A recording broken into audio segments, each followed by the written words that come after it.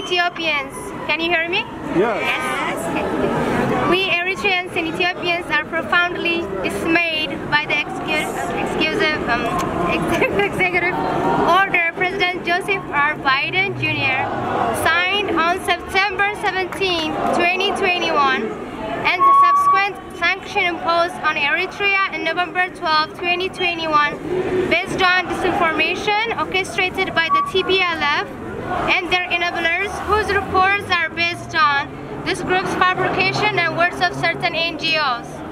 Eritrea, as a, Ethiopia as a sovereign nation, has designated the TPLF as a terrorist due to its repeated seditious military acts and genocidal Yeah, go ahead, go ahead, just. genocidal activities against innocent civilians. Similarly, Eritrea, despite the repeated unprovoked terrorist attacks by the TPLF, has continued to be a stabilizing force in the region. Hence, it is unbecoming for a superpower that wields strong international diplomatic and economic clouds to enable terrorist organization that is determined to destabilize the Horn of Africa and hell-bent on pitting ethnic groups of the region against each other to prolong life, its life. The U.S. sanction, collectively and concurrently, aims at punishing the victims, the people of Eritrea and Ethiopia, and all the greater Horn of Africa. And this conflict, while whitewashing acts of per- perpetrators, the TPLF, who have caused unprecedented damage, both in terms of human loss and property damage during the period when they had absolute power and since they were deposed by the popular vote in 2018, bringing pressure to bear on Eritrea and Ethiopia to appease uh, and embolden a terrorist organization continually destabilized the region and fostered enmity among Ethiopia's ethnic groups as well as those of the rest of the Horn will have dire consequences on the region, long-term political, diplomatic, economic, and security conditions.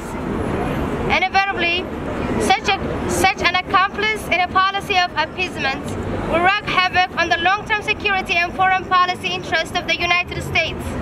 It is indeed mind-boggling to see the United States of America standing on the side of a terrorist designated group, the TPLF. The lip service to unity of Ethiopia notwithstanding. It is curious what the United States stands to gain by supporting a group that is determined to balkanize Ethiopia by creating distance and redrawing international boundaries to serve a hidden agenda to eventually establish a statehood of Greater Tigray. It looks the Biden administration has repeated the mistake of previous U.S. administration that stood on the wrong side of history in the number of countries, such as apartheid in South Africa and Angola. Therefore, it is incumbent upon the U.S. to correct its strong policies in condemning TPLF adventurous military activities in the Horn of Africa. It also has to support Eritrea's right to defend its sovereignty from the group that had openly declared its intention to invade and had already launched dozens of rockets into Eritrean population centers.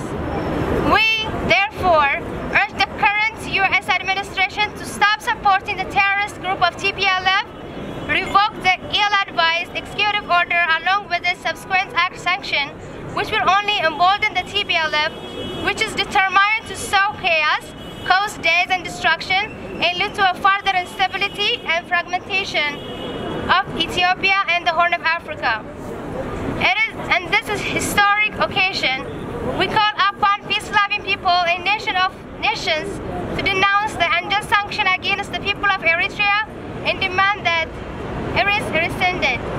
We also demand that the U.S. refrains from undermining Ethiopian sovereignty rights as a nation.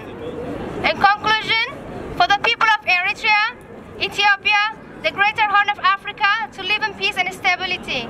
It is high time that we stand together so that Eritrea, Ethiopia, and the horn of Africa prevail.